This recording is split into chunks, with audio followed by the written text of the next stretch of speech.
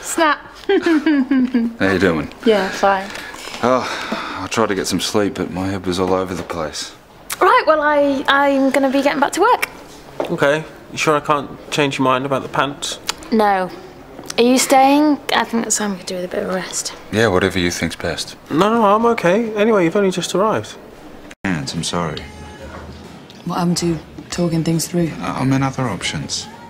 Look, you don't need a degree to be a filmmaker. You need talent and drive, and you've got those in bagloads. I'll be taking a huge risk, but I'm prepared to do that for you if it's what you want. This evening's check-ins. Okay. I'm Nell, by the way.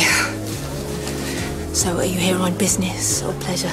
Business. Oh, That's the worst. Oh, not that. Well, that's me, Tom.